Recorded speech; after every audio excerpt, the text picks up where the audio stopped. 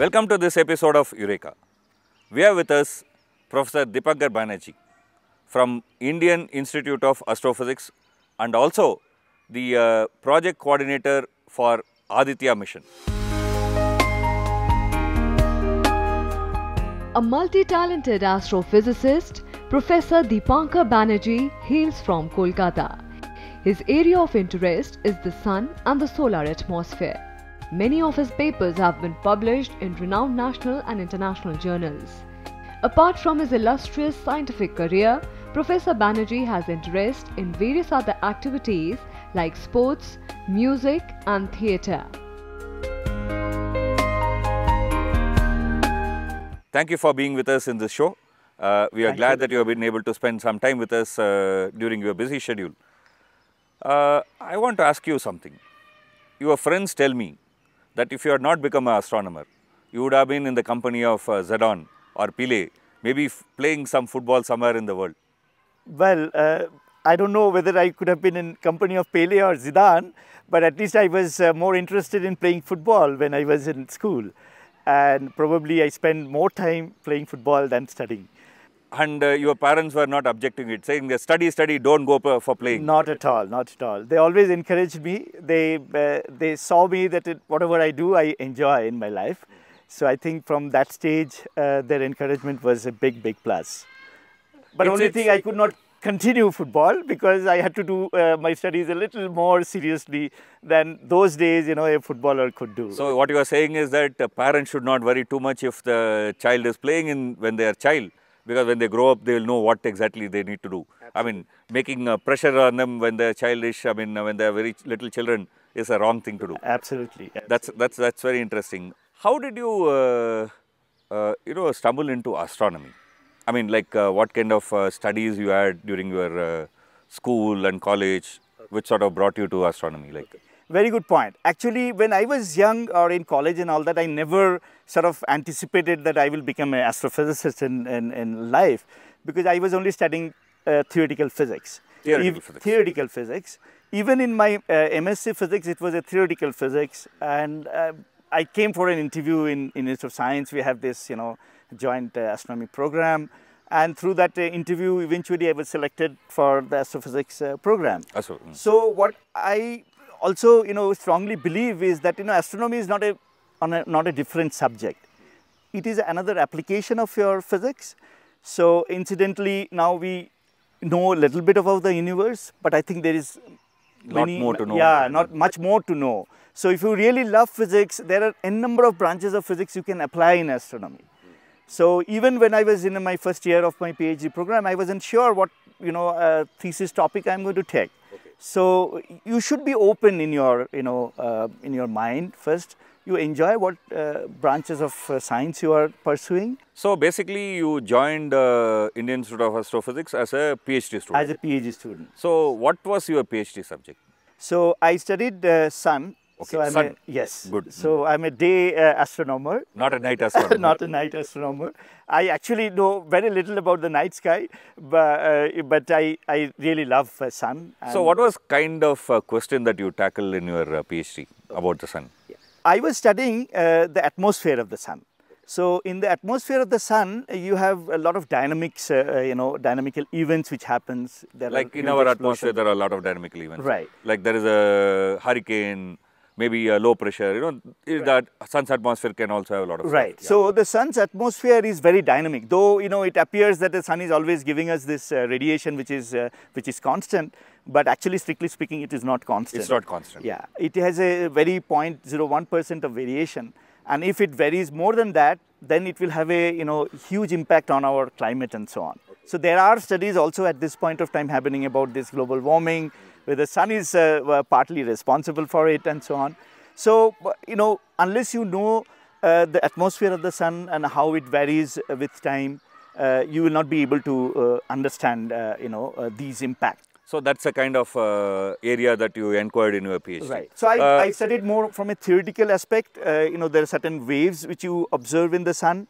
So indirectly, we were trying to characterize those waves and then get an estimates and so on. We are having a very uh, interesting conversation, but unfortunately, we need to take a small break. Sure. Uh, don't go away. We have a very interesting character who was a football player but today astrophysicist. But that's not the only thing. There are lots of interesting stuff about him, which we'll talk after this break. Welcome back to this episode of Eureka. We are having our conversation with uh, Professor Dipankar Banerjee from Indian Institute of Astrophysics, yeah, astronomer. Before the break, we were talking about your uh, PhD thesis, which was on Sun. Now, you are the project in charge of Aditya mission. Can you tell uh, our audience in simple words what is this? I will first correct, you know, uh, Aditya is the first dedicated uh, space uh, mission from, uh, from ISRO and we are very fortunate to be at this point of time. This is a golden opportunity. So Aditya has seven payloads and one of the payloads is Payloads a is meaning, I mean, seven instruments seven which will instruments, do. Yeah, right. okay. So there are seven instruments on Aditya being built in India by different institutions. And uh, I am from Indian Institute of Astrophysics, so we are building one instrument called coronagraph. Coronagraph. Coronagraph essentially again, uh, you know, uh, allows you to study the atmosphere of the sun. Essentially, actually, or, or coronagraph mimics the situation what you get in the total solar eclipse. During the so total, during the total solar eclipse, when the moon comes and obstructs the face of sun, you will be able to see the corona, and that corona is the atmosphere of sun. Right. So here artificially you kind of uh, block the solar block the disk. sun, solar disk, so that you will be able to see the corona, even without actually a total solar eclipse. Absolutely right. Absolutely right. So this is the instrument which uh, our institute is building, and I'm chairing the science working group of that, and uh, uh, you know co-PI of this uh, Co-PI of this mission. uh, mission. And there is also another instrument uh, from IUCAA primarily, where I'm also uh, closely involved, which is going to look at the sun and take the images of the sun in extreme uh, in near ultraviolet. So this allows you to see the atmosphere of the sun again continuously. So which means like it's like uh, wearing some other glass. Like if you wear a cooling glass, I mean you see the world in a different color. I mean like uh, it's a different glass with which you see the sun, so that you'll be able to see something else which otherwise you'll not be able to. Absolutely right. Interesting. Uh, I was also told this Aditya mission is a important challenge. I mean, like uh, its placement. I was told that earlier it was supposed to be going around the Earth, but now uh, ISRO is confident that we can place it in something called Lagrangian point. That's correct. Can you tell us what it is? Yeah, it's a very uh, you know challenging mission. There are a lot of uh, you know technology challenges involved in the instrument and also the satellite, its operation and the orbit. So now, after the Mars uh, mission success, ISRO has been more and more confident and adventurous. I would say. Obviously, say, it should be. right? I suppose. So uh, we are planning to go to uh, far away from Sun, more than you know 10,000 miles away. Uh, this is a place called Lagrangian one point. It's actually a position where you could look at the Sun continuously. We will be orbiting around this point with a with a halo orbit, Small, uh, small little orbit, but we'll have the opportunity to look at the Sun continuously. Basically, what happens is once you reach there, the gravitational pull between the uh, this satellite and Sun is equal to the gravitational pull between the satellite and Earth. So basically, It's a very the satellite is point. here, sun is here, sun is pulling, Right. earth is pulling, both are equal, so it will stay in the same point. Exactly. So it's a so very, which means when it is position. going around the sun, it will actually uh, be between earth and sun always. Always. yeah. Okay, So that's the main advantage that if something comes from sun, this is also another subject which we which we study, which called sun-earth connection, Uh-huh. because there are certain explosions which happens in the sun, and it, uh, it dumps a lot of energy and particle in the uh, in the heliosphere. So that means the sun-earth uh, you know, Place, uh, place. oh. And some of these energetic particles and material comes in all directions. And if it comes towards Earth, it will interact with the Earth's atmosphere. Atmosphere. Okay, I mean, so with this we can study. Right. Uh, Aditya would be a very unique mission for India. I believe there are already two satellites called SOHO, launched by uh, Japan and America together. Is there any other country who have put a you know satellite in the space for studying sun? Yeah, there are many more satellites uh, in space for studying sun, but there most of them are in the low Earth orbit. Low Earth orbit. Yeah. So, the low Earth orbit has certain advantages because it is clear, you know, cl- uh, closer to Earth, so you can have a better download and so on.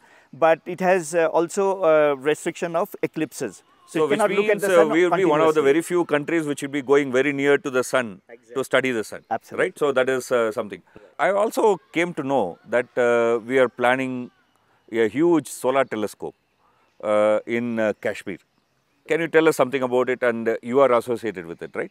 Yeah, again, this is uh, a great opportunity. As we are looking at the sun from space, we are also trying to build a very big telescope, namely a 2 meter class telescope. The largest solar telescope in the world now is 1.6 meter primary mirror. Bigger the mirror, you have, you know, more photons coming from the sun, so you have a better view of the sun. So this is a place called, uh, you know, Pangong Lake. Pangong Lake. Yeah. Okay. So in Ladakh. In Ladakh. Picturesque space. It's a very picturesque space. If you have uh, uh, seen the Three Idiots movie, it's the last shot which was uh, you know there. So we are planning for a two-meter class ground-based telescope to be built there. We just got the defense clearance, uh, you know, recently. Because it's near the border. Right. So now we are planning So for it will be a two meter class telescope uh, devoted to studying sun. Exactly. Very interesting. We have been a civilization uh, which has been interested in sun. There have been sun temples.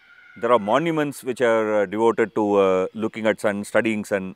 You know, there are monuments where, for example, on a particular day, the sun's ray will fall in a particular point. You know, this this is a part of our uh, Life. yeah. heritage. And uh, here is you, who is heading two important projects. One ground-based, a two-meter class telescope from uh, Ladakh, which will study sun, and a space telescope, which will go to L1 point in space, far, far away from Earth to look at sun. How does it feel?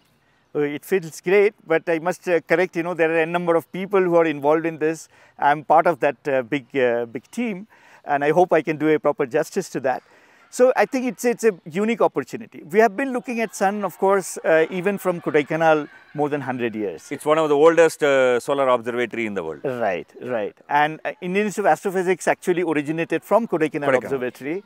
And recently we have actually digitized uh, all these images of the sun for last 100 years. So 100 years of daily sun's image is now digitized and available for the research community to work on. Absolutely, absolutely. So It's this a- is a, huge uh, resource, and we are making this uh, data available to the global solar community, so that people can look at. Because as I pointed out earlier as well, that you know it's very important to study the dynamics of the sun and its long-term variation. If you want to see the climatic change, you need long database. It's not enough for that you study for a few days, but then for 100 years, 200 years, you need Absolutely, data. absolutely. Very, very interesting. I mean, we are having a very good conversation, but unfortunately, we need to take a small break. Don't go away. After the break, we'll continue this conversation. Welcome back to this episode of Eureka. We are having a great conversation with uh, Professor Dipankar Banerjee from Indian Institute of Astrophysics, who is holding the sun in some sense in his hand. Thank you. We are having a very interesting conversation. You are an astronomer. So it would mean most people will think that you would have spent all your school days, college days, you know, taking a telescope in your hand, spending all the night watching the sky. That's a common perception. How does one become an astronomer? Well, uh, fortunately or unfortunately, things were slightly different in my case. I come from Calcutta, and you see the night sky is not really great from Calcutta. So I was never a, a real that way, uh, you know, astronomer in my childhood days. But I loved physics, and uh, that's why you know I chose astrophysics as one of the applications of astronomy. So, in my opinion, uh, one should keep uh, you know all kinds of options open. If you if you are really interested in the night sky, of course there is there are opportunities, but the basic uh, science subjects which you have to take up is physics and maths. Physics and maths. Right, right. So maths is very important for physics, and uh, you know if you want to study astronomical uh, you know uh, events or even uh, branches, you need a physics background. So up to MSc, I did, never had any astronomy special courses. So I studied physics, and then I went to a astrophysics institute, and I slowly picked up you know all the you know other things you should know about the universe. So it's not mandatory that you have to study astronomy in your you know early education. Having said that, what I see now, things have changed actually. And even the school children in the in the books, uh, there are a reasonable amount of description about you know different solar systems and Galaxies, universe, expanding universe and things of that kind, So yeah. they are a bit more equipped with that, and that's sufficient. You really do not need to know So basically, you need to have a good grounding in mathematics and a good grounding in physics. See, you are also now the uh, secretary of Astronomical Society of India, which is a society which brings in the whole astronomy astronomer uh, community in India together. What is this society? What is its main objective? What do you aim to do? Okay. So Astronomical Society of India, it's a, it's, it's a body for professional astronomer to start with, but we also want to expand our scope and interaction with, uh, with anybody who is interested in astronomy. Okay. So it's possible to become a member of the uh, society. There is online forms available and so on.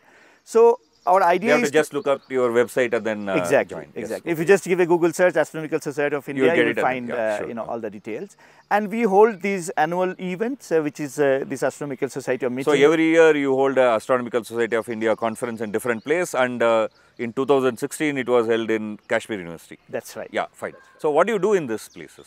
normally uh, the meeting is for four days it's spread over you know primarily the scientific results are uh, uh, you know uh, presented there.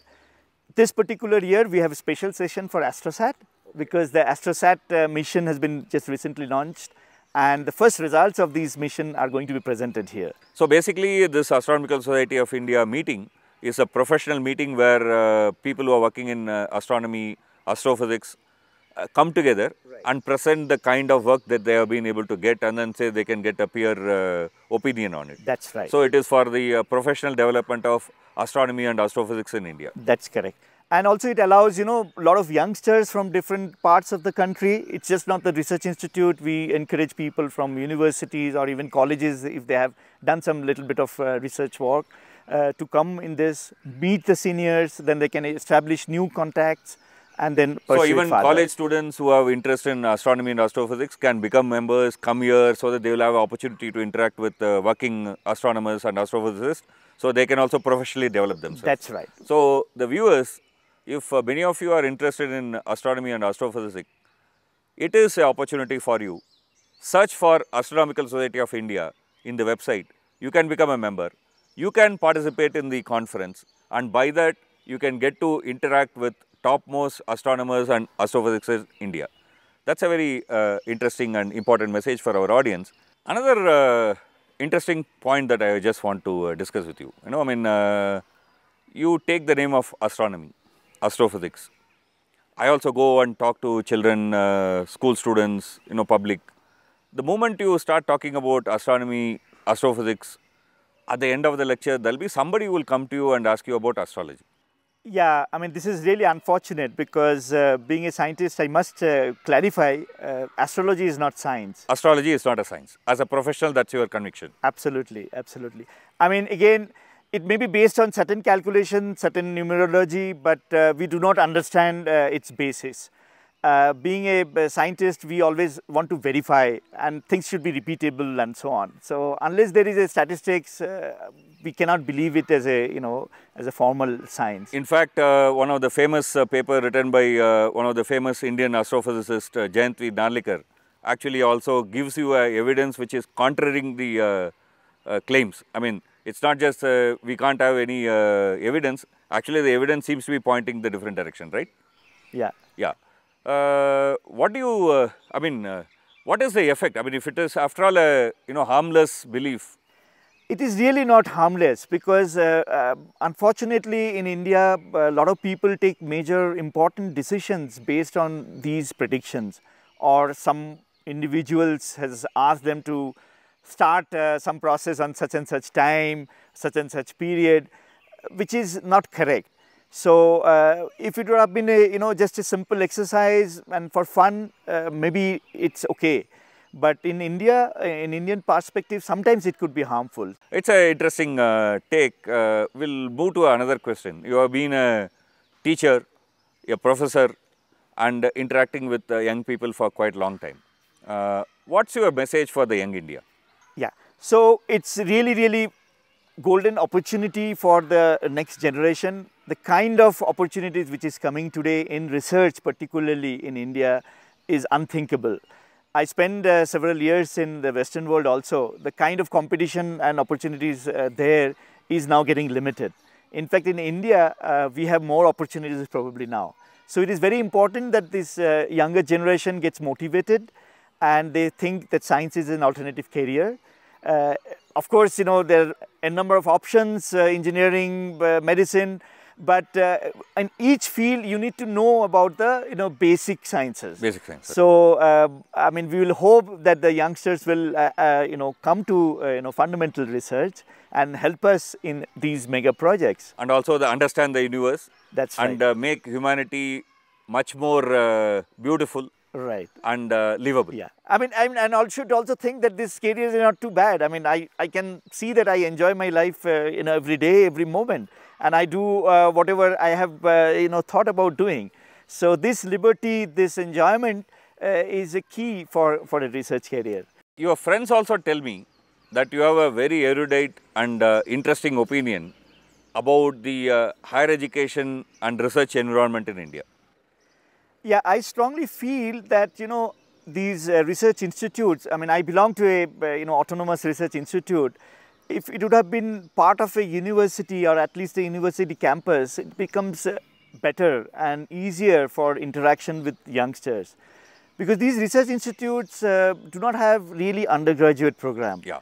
and uh, you know the, by the time we get uh, the matured student of course they're very good and we have enough uh, you know interactions and so on but as a scientist if we could interact with more youngsters and uh, train them at early in their career it becomes i think a, a, a better platform and also i think that this uh, level of research in the university uh, could improve by this close interaction between the research institutes and university. Because in the Western world, you know, people normally do not make this distinction so much.